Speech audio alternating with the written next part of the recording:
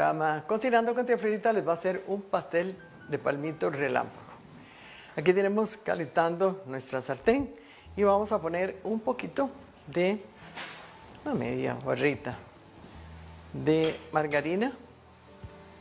Luego entonces vamos a ponerle cebolla, vamos a ponerle 60 gramos, puede ser 60 gramos de, de margarina, después le ponemos un cuarto de taza de cebolla, un cuarto de taza de chile dulce y hacemos una, un, sofrito para ponerle dos latitas de palmito, sal y pimienta. Eso es lo que vamos a hacer nada más en esto. Lo vamos a poner en un paire rectangular mediano. Después encima son tres, tres, tres, eh, unas cositas que le vamos a poner, tres eh, mezclas y después va para el horno. Aquí ponemos la cebolla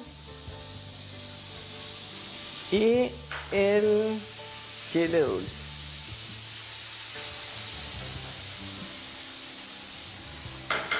Lo dejamos sofriendo. Aquí ponemos un poquito de sal y pimienta al gusto. Fíjense que es muy muy sencillo, es una forma de hacer el palmito rápidamente, que tiene unas boronas, no tiene pasta, para que sea bien rápido. Boronas encima, ¿verdad? Después de que tenemos esto aquí, entonces ya le ponemos las dos latitas de, palmito tajadeadas. Es una forma muy, muy fácil de hacer el palmito. Aquí lo vamos a dejar que se tomen los sabores. Ahí tenemos un paire rectangular mediano para verter esto y después hacer una, especie de salsa blanca, que es lo que vamos a hacer para ponerle encima. Después ponemos unas boronas y lo metemos un ratito al horno. Eso es todo. Fíjense qué sencillo que es.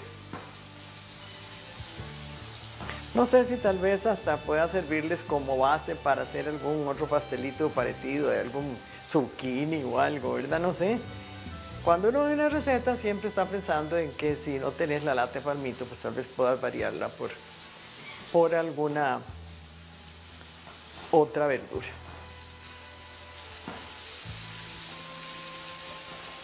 Esto cuando se toma de sabores es importante, ¿verdad? Que lo dejen un ratito para que absorban el palmito los sabores que acabamos de cristalizar. Muy bien. Ahora yo lo voy a poner en este Pyrex rectangular mediano. Ahora proseguimos. Aquí tenemos las dos tazas de leche, que si ustedes en una emergencia no tienen leche a mano, perfectamente pueden hacer de tres cucharadas de leche en polvo con una taza de agua y tienen su leche al instante. Voy a hacer así, dos tazas de leche, tres huevos. Fíjense qué fácil que es hacer esto. Sal y pimienta. Sal y pimienta. Tapamos, licuamos y se lo ponemos encima aquí a los palmitos.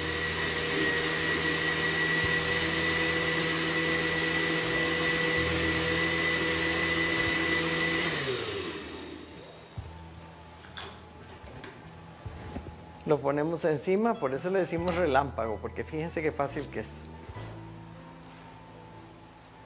Es como una especie, dijéramos, de salsa blanca, lo que le hemos puesto encima. Y luego aquí ponemos queso. Queso del que tengan, del que, del que vayan, que encuentren en la, en la refrigeradora o mezclado. Por ejemplo, aquí tenemos un poco de cheddar y un poco de, Puede ser de cheddar o siempre quesos que sean un poquito grasosos, ¿verdad? Porque no es queso blanco el que estamos poniendo. Ahora, vamos a hacer un corte aquí también para venir a hacer las boronas y ponerlo al horno. El día de esta mañana quiero mostrar mi agradecimiento a Prisma Dental y especialmente a la doctora este, Carolina Núñez por el trabajo que me realizó. Estoy súper contenta, este, tanto emocionalmente como físicamente. Eso, ya me siento súper segura de mí misma porque desde niña este, tuve mucho complejo con, con mi sonrisa porque siempre tuve muchos problemas y el día de hoy cumplo mi sueño y estoy súper, súper contenta y feliz por el, trato que me dieron aquí, es el profesionalismo, la doctora Núñez es súper, súper detallista, trabaja súper bien y estoy feliz con mi. Solo en Prisma Dental, Prisma Dental, la sonrisa ideal. Ahora vamos a hacer las boronas. Es media barrita de mantequilla o margarina, una taza de harina, una cucharadita de polvo de hornear y sal. Esto yo lo voy a picar en boronas. La mantequilla tiene que estar fría.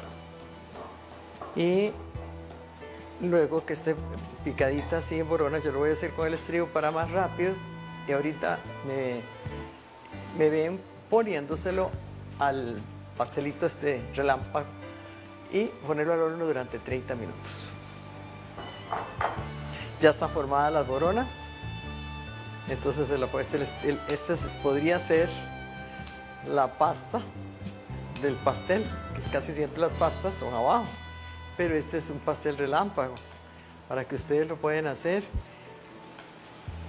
varias veces en su casa. Y, lo bonito de esto es que les doy la idea para que ustedes varíen sus vegetales, pero que siempre lo hagan en el mismo, la misma técnica, el mismo procedimiento, porque es muy sencillo hacer un pastel así. Listo, le ponemos un poquito de de paprika para que para que no solo tenga sabor, sino también que tenga un colorcito bonito. Limpiamos orillas, horno 30 minutos y ahorita estoy de regreso. Bueno, y aquí tienen ya ustedes su pastel de palmito relámpago les invito a que lo hagan porque es muy muy fácil y como les dije pueden variar también los vegetales del palmito por algún otro vegetal que ustedes quieran.